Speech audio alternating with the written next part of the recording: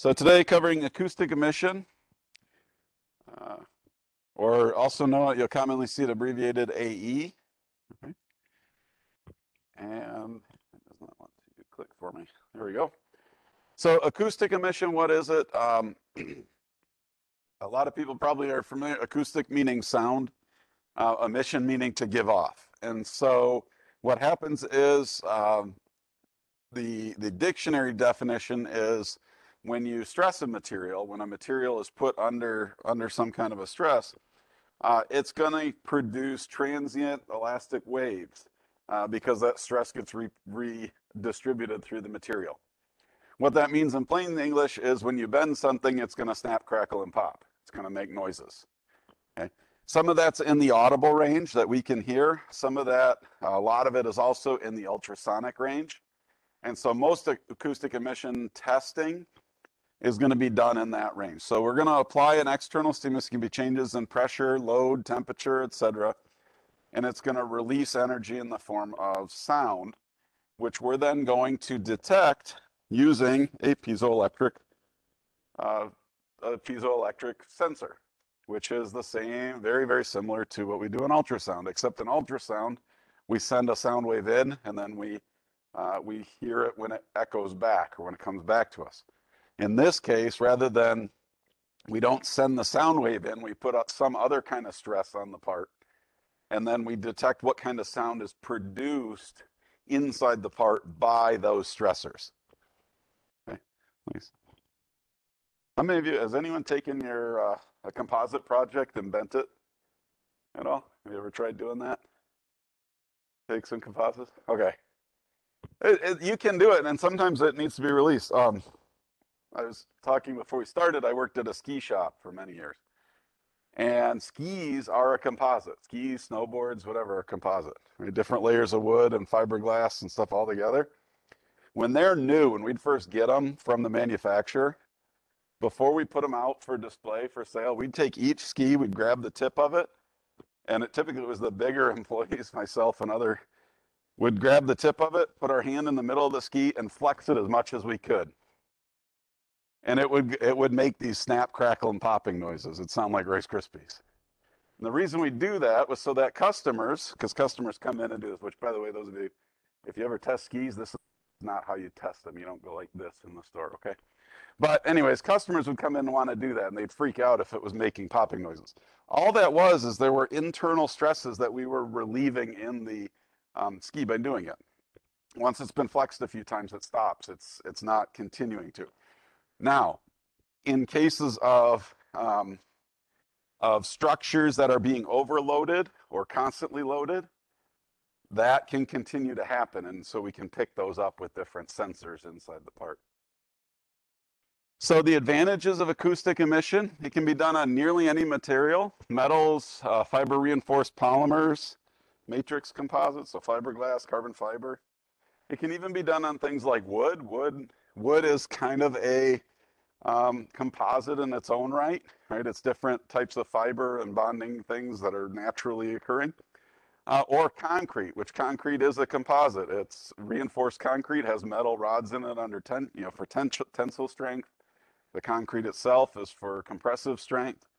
Uh, and so these can all be monitored in real time using acoustic emission. Uh, that kind of brings us to the next point. It's fast, continuous, and real time. So this can be occurring all the time. You can build these systems in uh, and be able to constantly monitor something uh, where you have data acquisition, analysis, and can be and is often performed on, most often performed on objects while they're in use. Big example would be bridges. There's a lot of bridges nowadays that have these sensors on them. Um, it can require, it can be done using indirect access because we don't necessarily have to have the sensor right at the point where the sound is produced, but rather we're going to sense it as it moves through an object. The sensors don't need to be necessarily right near the sound. And we'll talk about how we locate them and, and how that plays into using the data and making an analysis of the data. Um, but it can be permanent or removable, and it doesn't have to be right where it's at. And then there's minimal preparation required. Typically, you don't need to remove paint. Uh, you barely, you just need to have a clean spot where the sensor is attached. If the sensor is permanently attached, you know, you're not going to get dirt between the sensor and the surface if it's if it's epoxied in place, for instance. And so uh, it's very good in those regards. Disadvantages, dynamic process. Okay, you can't do this on a static part. Right, some of the other tests we looked at, you have a part just sitting there and you do a scan on it. Right, you run an eddy current probe over a part, you run an ultrasound probe over a part, you put you put some dye on a part. Right, the part's not doing anything. So if we want to be able to actively or or be able to get this, we have to stress the part somehow. But in some cases, it can be as simple as adding heat, you know, like we did for thermography. Um, flaws that we're looking for have to produce an acoustic event. Not all flaws are going to actually create a sound, particularly you know, an ultrasound range in this case. And it's primarily a qualitative, um, a qualitative method, although more and more algorithms are being developed, different monitoring techniques that allow for greater measurement. And what does it mean? And what I mean by that is we know that um, a sound has occurred, damage may have occurred, based on the um, the profile of that sound and particularly the amount of energy released, we might be able to get some kind of an estimate of the damage. Um, but it's very rare that we can get a super accurate size, depth, location, other than knowing kind of generally where this occurred, generally how much energy was, was released, you know, generally how big of an event was this. The other thing we have to be careful of is extraneous noise. Because it is sound-based, there is a lot of sound in the environment. And again, it, it's typically ultrasound, but there are ultra, there's, there's extraneous ultrasonic noises as well. Things like vibrations. You can imagine on, uh, on a, a turbine-powered aircraft where you have engines running at 50,000 RPM, uh, it's likely you'll get 50,000 hertz or 50 kilohertz noise, right, coming from that engine that's running. And so, or 40 kilohertz, 40,000 RPM or whatever it might be, there's just, we got to keep, keep, be aware that there are other vibrations and other energies, uh, acoustic energies being transmitted through our parts and our structures. So the theory here is the acoustic emissions, they're the result of the initiation or growth of things like cracks. We've all seen cracks. Slips that are shown here. So slip is where the atoms, um, it's kind of a shear type uh, loading. So the atoms in different layers end up offset from one another. Okay, and actually in this case, it breaks the bonds between them. Okay, the bond from one atom to another, this matrix structure has been broken in this left side here. Um, twinning is similar to that, or, or it's kind of a bending. You can see in this case, the bonds between the atoms haven't been broken, um, but it's changed the crystal orientation. Okay, it's almost, it's bent it to some extent. Um, and other types of uh, things going on. Phase transformation is a big one. How many of you have been out on a frozen lake? How many of you have been on a frozen lake when it gives off one of those gunshot noises? Scares the pants off of you. You think the ice is about to like break out from under you. That's due to a phase transformation. Okay, that can be due, I should say it can be due to phase transformation where you have water and ice, you know, changing phases. It can also be due to slips or twinning where the ice is contact, you know, is moving and contacting a shoreline or other immovable object and it's causing slips and cracks and that kind of thing to form. Or you ever have a glass of ice, you pour water and you hear pop, pop, pop, pop noises? You hear that with ice? That can be, that's phase transformation taking place. So those are stresses, those different things that cause that. Again, changing temperature, changing phase, um, being physically compressed or stretched or put under a torsion or a shear force. Um, those are all different ways of doing it. These are elastic waves. They, they ultrasonic elastic waves, they sound waves that travel through the part. So it's that movement of atoms. If you think back to when we did ultrasound, we saw the videos of all the atoms kind of bouncing back and forth as the wave moved through a part. Okay, that's an elastic wave causing that, or what we did with the slinky, you know, where we had the different types of waves. And remember the two main types of waves we looked at? What?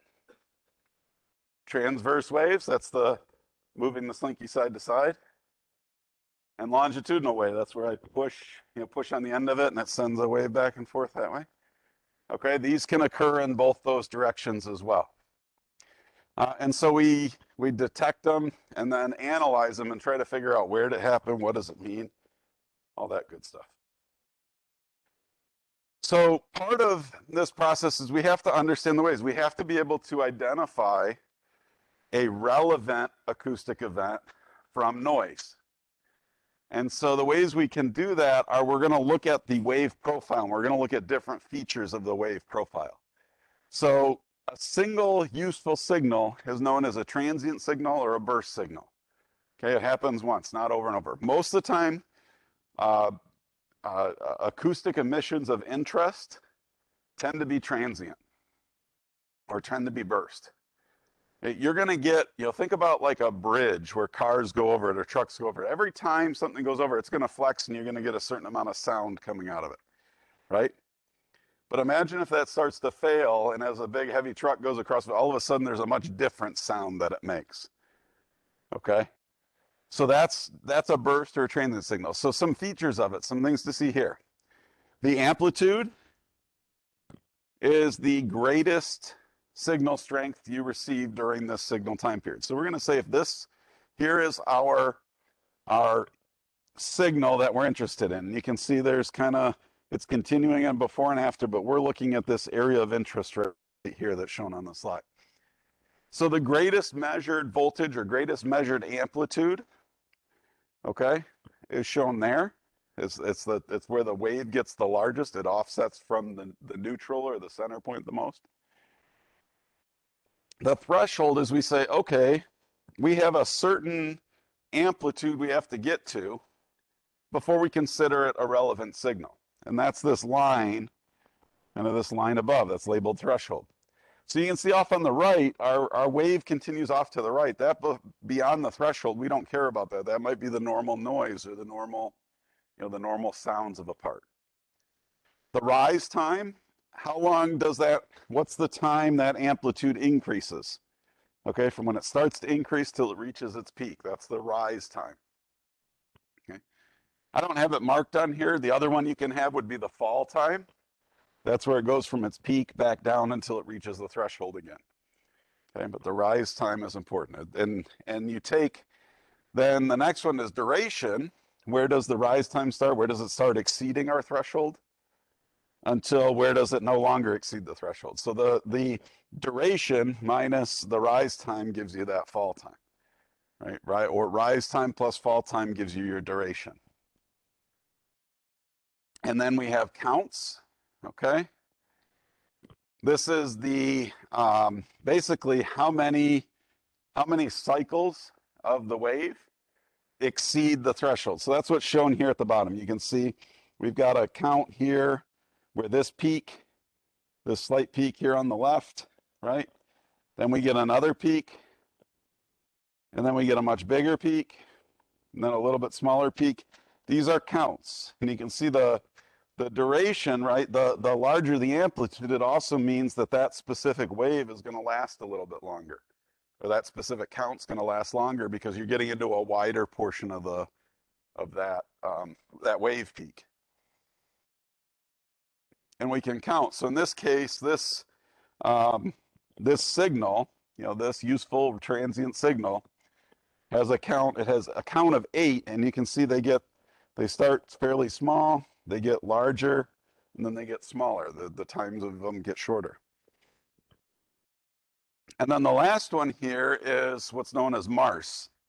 And you can see it has the symbol E. On our diagram, it's listed as energy. Okay. It's also known as energy or total energy. And this is that area outlined by this kind of craggy mountain looking graph that we've drawn on here.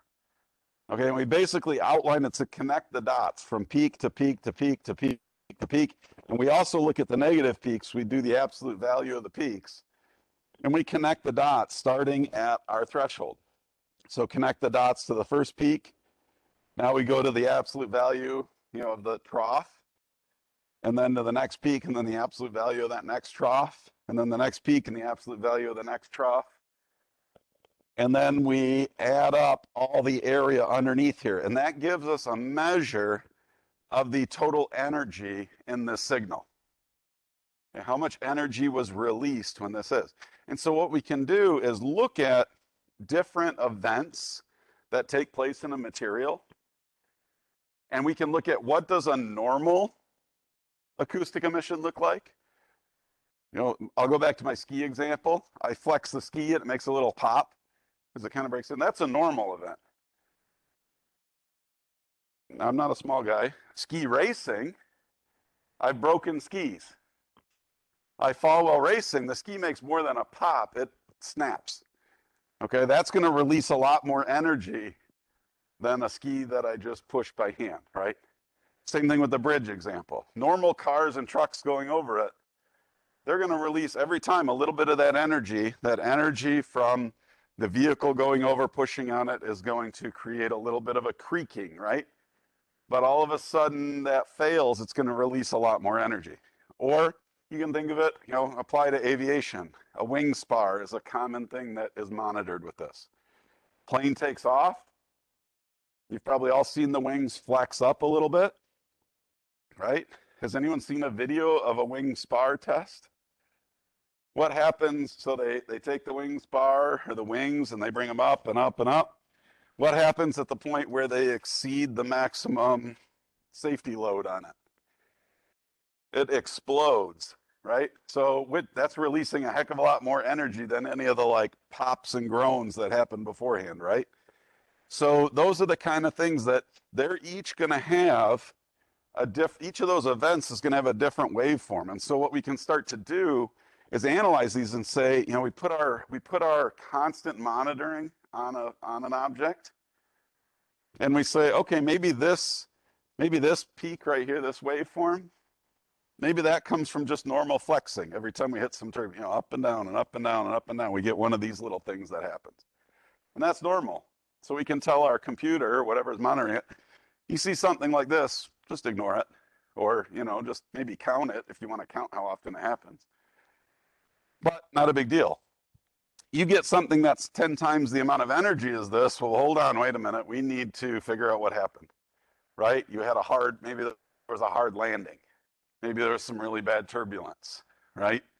So in that case, you know, it's gonna you you have whatever your monitoring system is is gonna trigger that as an event and let you know that there was an acoustic emission outside of your normal threshold.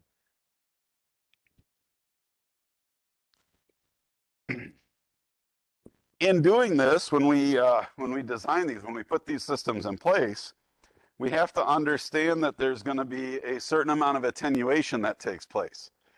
Just like when we send ultrasound through a part, and we have to be aware that it's going to, you know, that amplitude is going to decrease as we travel through a bigger, more and more material. And depending on the makeup of the material, you know, some parts are going to attenuate the sound, reduce the amount of sound more than others, or muffle it, you know, would be a way to say. So we have that we can start to use this to try to help figure out where did something occur you know or how did it occur by by measuring things like the the change in intensity or the attenuation so directly affected by the sensor's proximity to the source and a few things we have when we have sound when it when there's a acoustic event in an object uh-huh, all the markers are gone when there's an acoustic event in an in an object, it's going to originate at some point. It's going to have an origin point.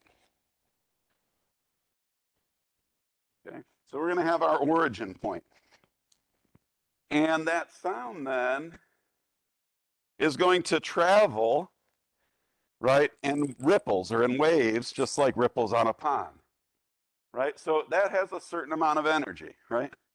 At a given distance, that energy spread over a bigger area and then that energy spread over a bigger area, and that energy, it's the same amount of energy, actually gets less and less, partly because of attenuation, partly because you're spreading it out over a bigger area, right? So that intensity is going to depend on the amount of energy and how big of an area it's spread over.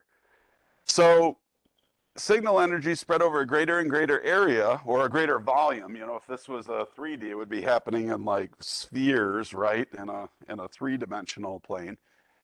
Um, for each doubling of a distance, you're going to reduce the amplitude by about 30%. So when I go from here to here, we've reduced it to about 70% of its original amplitude, right? We've reduced it by 30%. This is in a flat plane. When I go from here to here, that's another 30%. So 3 times 7, we're to knock another 21% off. Right? So now it's going to be 49, right? Here to here is another 30%. 49 close to minus another 15%. Uh, 49, 39, 34, right? We're down to 34% of our energy. Right? So you can see that that's going to reduce that. Now, if we're doing a 3D structure where these are circular, that's gonna that's gonna be 50% per distance. So from here to one distance away, we're gonna be at 50%, then we're gonna be at 25%, and we're gonna be at 12.5%. We're gonna be at six and a quarter percent, right? So, so you have a logarithmic decay as you move away from something. The resistance of that movement in the part is going to create is going to dampen that's that's the dampening effect that's taking place okay? Where a certain amount of energy is lost as we you know have to as we move through a material. And it's going to dampen the amplitude of that wave. It's going to dampen the amount of energy that continues to move. And that's where that 30% reduction 50% reduction in a 3d structure the other thing that's going to happen is we can have wave scattering. And, and so on the board, I drew the, you know, nice circles, right? But in real life, our parts are rarely a nice, perfectly spherical, homogeneous material, right? I don't have a, can't even think of something that's perfectly spherical, homogeneous. I'd say a billiard ball, but I know they're not. You know, they got different materials inside of them. Same thing with a bowling ball. They got an inner shell, inner core, outer shell, right? Golf balls got all these layers, right? Those are probably the closest we have, but they change. They vary materials as you go from the center out. You know? So I guess old billiard balls that were made out of uh, ivory, they're pretty homogeneous. Right? So this wave scattering is if you have uneven or rough surfaces and or non-homogeneous materials, you're going to get all these acoustic interfaces going in there. There's another keyword, buzzword. Who remembers what an acoustic interface is? Yeah. It's, well, it's where any two materials come together where the sound transfers from one to another. And it's going to cause a certain amount of reflection, right? It's going to cause a certain amount of refraction. Did you mention that? Yeah, refraction. It causes refraction. It changes the angle it's going at. Uh, and so you're going to get those all those reflections those refractions the changing you know they're going to not they're going to and oftentimes it's going to direct that sound away from and reduce the amplitude of the sound that's reaching the uh, acoustic emission transducer or receiver. Some of the other things to be aware of, I mentioned we have noise, undesirable signals detected by sensors, things like Things caused by friction, loose bolts, wind. You hear wind going through like cables on bridges or wind going, you know, making humming noises or that kind of thing. Expansion and contraction points, flexing. You'll also have impact, just the sound of rain hitting something, flying objects, wind driven dust. Dust storms, if you're in a dust storm, like a desert dust storm, they they actually can be very loud. We would get them when I lived in Salt Lake City. You'd hear it hitting your siding, and you just have this this constant barrage of like white noise from the from the sand and dust hitting siding. We had aluminum siding, so it was particularly loud. Um, things like mechanical vibration noise. Again, that's where the engine stuff comes in. Uh, leaks. You get an air leak. You heard a had a balloon squeal. You take the balloon and kind of hold it, right? That's like an air leak. You can get those squealing noises cavitation and things like pumps, bearings going bad, rotating bearings, that kind of. So, so we got to be aware that those other sounds are going to be in there. They might be normal sounds. They might be, you know, they'll produce those wave profiles like this and we'll say, okay, that's maybe that's the normal bearing noise. Maybe that's the normal, you know, the normal vibration of the engine running. Maybe that's the normal hydraulic pump noise. You can see some other areas we might be able to monitor. You can monitor things like bearing health. You can monitor for cavitation and hydraulic systems, all that kind of stuff.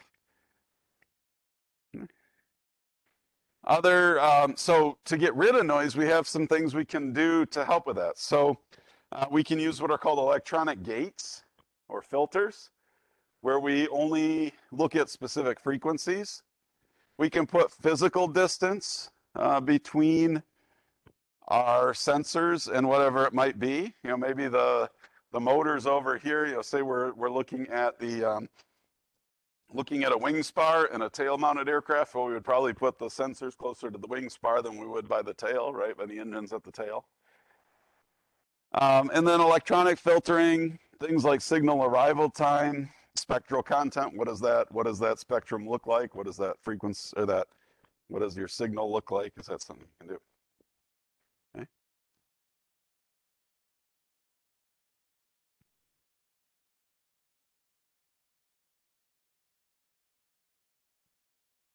So the practice of this, how we do it, general system, this should look very, very similar. Sensor, some wires, got some kind of a monitor. It looks a lot like an ultrasonic system because that's essentially what it is. It's an ultrasound system without the without sending the ultrasound in. We're just we're just listening for the sounds that are produced. So here we've got our sensor. We've got some way of doing signal capture and detection. We're going to have to use things like amplifiers, filters, and preamplifiers, filters, amplifiers. We'll go into detail what each of those does. And then our measurement, simplest form, look at an oscilloscope, right? You've all used an oscilloscope in electrical lab to, to analyze AC electrical systems, right? I hope so. I see one on every bench. I hope we're actually using those. Um, even things like a voltmeter, which gives you amplitude of the signal. Or what's more common now is a computer, okay? So we look a little deeper into it. Here is our object. We've got stimulus being applied. There's a acoustic source inside of it. And we've got our sensor at the top. And the sound goes to a preamplifier. And then that's, you know, that helps to boost that signal to send it to our actual instrument. And then that instrument's able to detect and measure, record. And now with things like, um, even things like like algorithmic analysis and artificial intelligence, we can begin to interpret and evaluate without having to have a human involved all the time. We can automate some of this stuff. And then it shows different output displays you might have, you know, intensities and different frequencies. What do the waveforms look like? You know, scatter, scatter plots, histograms, that kind of thing to, to kind of start to analyze that. So the sensors, if we cut one open, look almost exactly like a ultrasonic sensor, because that's what they are. Okay, this diagram looks very similar. This one shows a wear plate. This is, it basically is, they, when, when I looked at this, they basically pulled images from ultrasound. When you try it, when you look this stuff up, because it's the same stuff. You can use the same ones. And they can be portable. They can be one you hold there. They can be ones that are bonded in place using like an epoxy or something like that. But transducer, it converts mechanical motion from the wave into electric voltage signal. Typically, they're piezoelectric crystals using a, it's a ceramic, it's zirconate titanate. So it's zirconium and titanium. And they run in the same frequencies that ultrasound do. 30,000 hertz, kilohertz, sorry, 30 kilohertz, 30,000 hertz to one megahertz, 1 million hertz.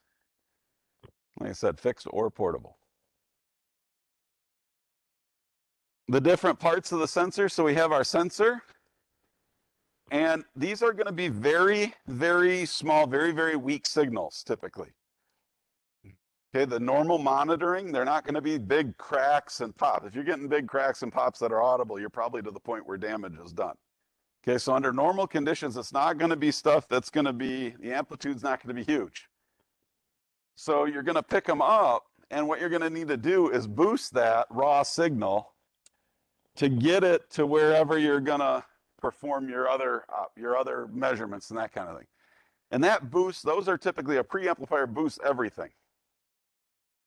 Noise, signal, everything. Everything coming out of the transducer is going to get boosted by the preamplifier. Okay? Then we put a filter, and, and in here it shows it combined. We put a filter with it to eliminate the things that are above and below the target frequency or below above or above or below. So that's called a bandpass filter. Okay. You can also have a high pass filter. Everything above a certain frequency is allowed to pass through. You can have a low pass filter. Everything below a certain frequency is allowed to pass through. You can have a band pass filter, which is a combination of the two. You know, you're high, you have a higher frequency, everything below it can go through. You have a lower frequency, everything above. And so that does a certain band. It doesn't allow things above and below the band pass filter.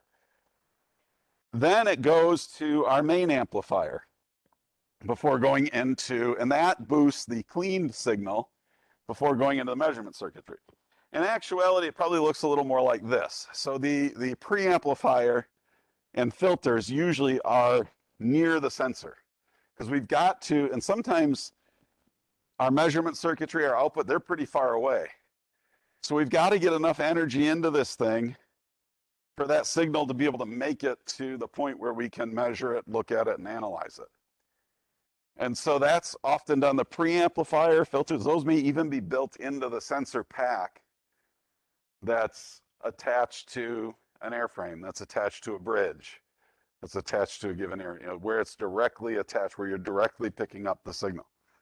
Then that signal, once it's been boosted and cleaned, then it's sent a long distance maybe. And then when it gets to here, you know, to actually perform measurement, we got to do some more boosting of it. We, we amplify it more. We measure it and then we provide our output, whether that output is a direct signal, whether it's some kind of an interpretation of it that's done, again, algorithmically, where AI is involved or where human analysis takes place.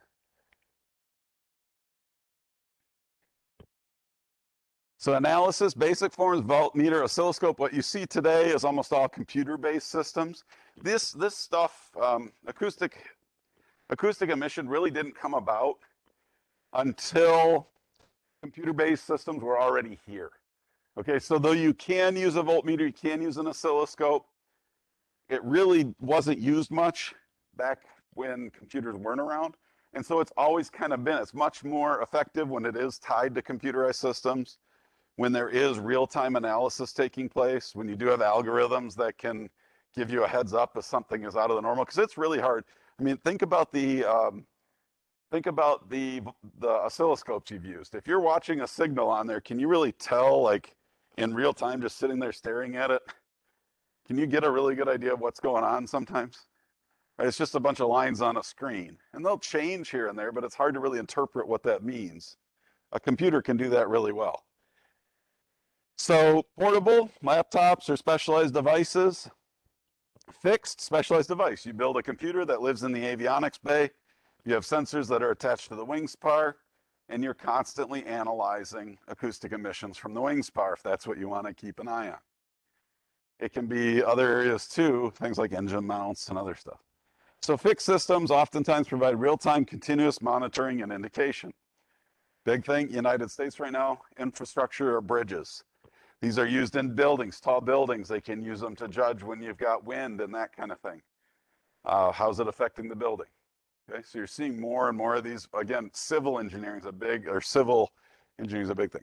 But what you often get is multiple sensors with multiple amplifier paths going into measurement circuitry and then going into one system to kind of you know that's that's monitoring all this stuff continuously. And it can compare sensors in different areas to get a broader view of what's going on.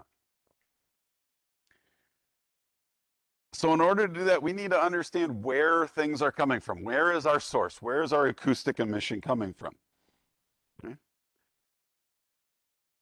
The easiest time to do this easiest way is if you have a homogeneous regular shaped structure. This is that uh, that billiard ball i was talking about it's spherical. It's all the same material. sound's going to transfer through it evenly. And then you can imagine as things become, more complex in shape, become more complex in material composition, it's going to be harder and harder to uh, understand or be able to know where the source is. So that's where that qualitative versus quantitative uh, measurement comes in. Qualitative, we know something happened. We know something happened in the part. We have some idea of maybe how big of an event it was, but we can't really tell you where it was without using some of these uh, techniques here I'll show you in a second. The more complex the shape, the harder to determine a location it becomes. But there are some methods to do that, and we're going to look at linear, zonal, and point location.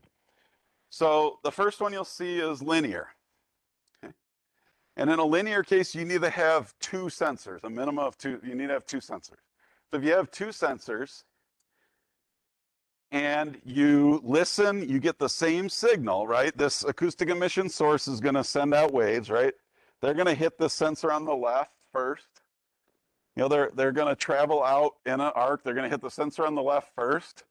And then as they continue to travel, they're gonna hit the sensor on the right. And so what you can do is measure the difference in arrival time to figure out where the source is between the two sensors. Now, in a case of this, you have two sensors, it's gonna, it's gonna narrow it down to, in this case, a vertical line. Okay? It, it, well, roughly to a vertical line. There are ways you can actually figure out more than that, but we'll talk about that in a second. So initially, you know, it's going to say, okay, the, the, the ratio of time to the left versus the ratio of time to the right, it's going to tell us it's going to be, you know, this far over from the midpoint, x over from the midpoint. Now what you can do is look at the total time. If it's offset at an angle, you can look at like total time and, and sometimes get a little bit of an idea of how is it offset from the horizontal plane in this case but it could tell you, you know, if you're in a material that was taller, you wouldn't know if it was below or above, for instance. It can just tell you it's offset a certain amount here because of the, the total time it took to get to both sensors. But then you have to, you got to kind of work back to figure out how long it was from when the acoustic source took place. So difference in arrival time is primarily used to give you uh, a distance or a ratio between two points. Okay.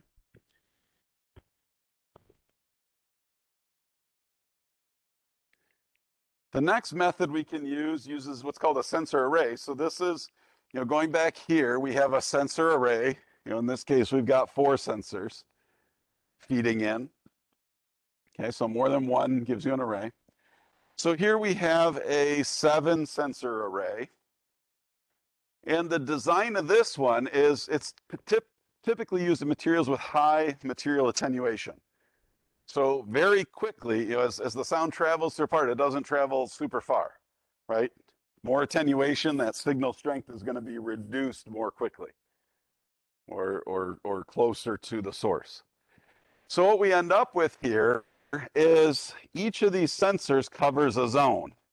Sensor one, two, three, four, five, six, seven covers a zone with the idea that if a acoustic event occurs somewhere on the surface or in this part, the sound will only travel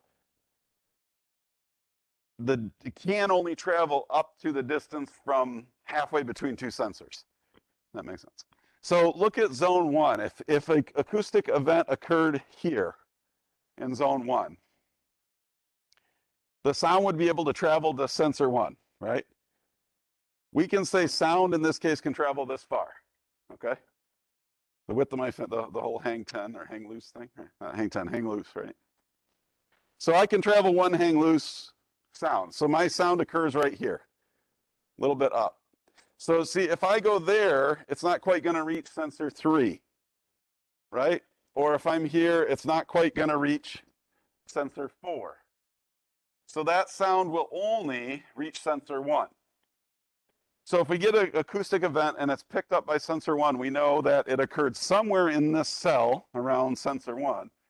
but we don't know if it occurred down here, or if it occurred up here, or if it occurred on the left or on the right, right? We just know it was somewhere in this cell, in this area. So that's where the zonal determination comes in. Okay, say we had the same thing, you know, sensor four. Say we had an acoustic event where my thumb is in sensor four. You can see if I swing my hand around, it's only going to be picked up by that sensor four.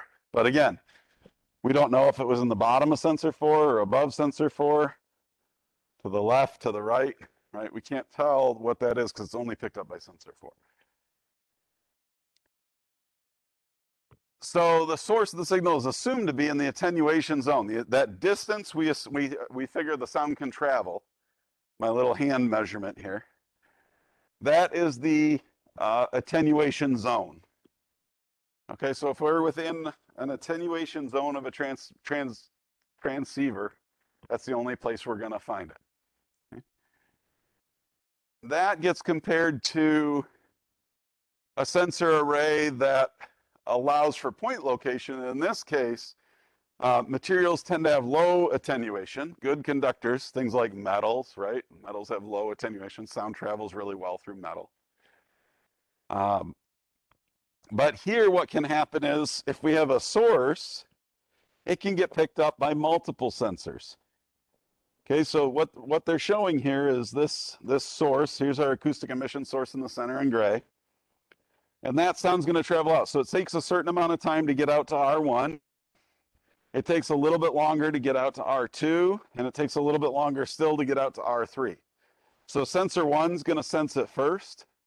Sensor 2 is going to sense it next. Sensor 3 is going to sense it next. And what we can do then is draw those time circles around each of our sensors, and we can pinpoint, we can triangulate our, our acoustic emission source, where it occurred.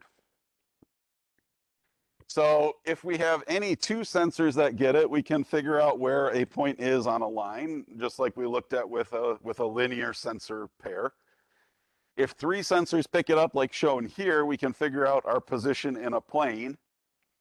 And if you have four or more sensors, you can start to do a volumetric. You can actually do a three-dimensional determination. And instead of looking at circles, you're looking at the sphere that surrounds each sensor and where those spheres intersect with each other. Okay. And so things like this, if you have these sensor arrays, very sophisticated sensor arrays, you can derive uh, methods of finding very accurate location determination. And not just in homogeneous parts, but in geometrically complex parts as well. So you can do this real-time monitoring and, and, and now you can really start to pinpoint it. So you could, you could arrange your sensors in such a way that if there are critical failure points, you can make sure those critical failure points are covered by at least four sensors, right? And then also then your wave form, the shape of the wave you get, the energy content, the MARSE, the amount of energy, right? That can tell you how big the failure possibly is in that area. So aerospace application, we're seeing more and more permanently attached sensors in hard to access structure, wing spars, uh, trunnions, landing gear mount points, as well as the engine mounts. Okay, these are all things that can be, uh, one is they can, they are exhibit, they, they are, not exhibit, they are prone to high stress. You know, think about a hard landing. Airliner has a high landing. You have a ton of force goes into the trunnions. That's where the landing gear mounts into the airframe. That's the pivot point for the landing gear. And then that shock wave is going to cause the wings to flex, right? So your wing spar. And then the engines are really heavy and are mounted to either the wings or the tail. They're going to put a ton of force on those engine mounts, right? Even things like um, uh, uh, high, um, you get into high turbulence, right? That's probably not going to affect the trunnions, but it'll definitely get, do the wing spar and the engine mounts. Things are trying to move around. Um, impact detection.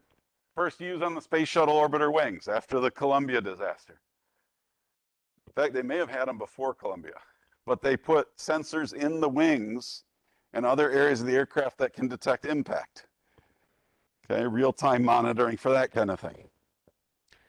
Fan blades, there's talk about putting these things into the fan disc or other areas where you might be able to sense or pick up a crack before you have a fan blade failure.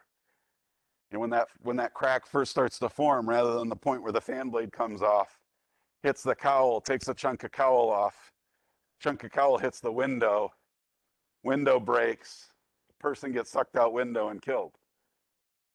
Happened a few years ago on a 737. Okay, so if you can prevent that from happening with real-time monitoring, that's another area they've talked about using this. And then another one you'll see, and this one's key for you guys, fluid flow and leakage. Remember in systems, we did hydraulic fluid flow by putting the, the clamp meter around the pump? We never did that when I was at the airline. We had acoustic sensors that clamped on our hydraulic lines. We ran our hydraulic system, and those sensors, based on listening to the fluid flowing through the lines, and it, you, it knew the diameter of the line, you had different size clamps. Based on the diameter of the line and the, the sound of the fluid flowing through, the system could tell us what the flow was just by listening to it. It's a form of acoustic emission testing. So you'll, if you go work transport aircraft, if you do stuff with hydraulics, you'll likely use one of those systems and that's one of the ones I'm talking about where it's not permanently installed, but they're installed, you perform your tests, and then you remove them when you're done. And then you can move them around to different systems, different areas of the aircraft, different subsystems of the hydraulic.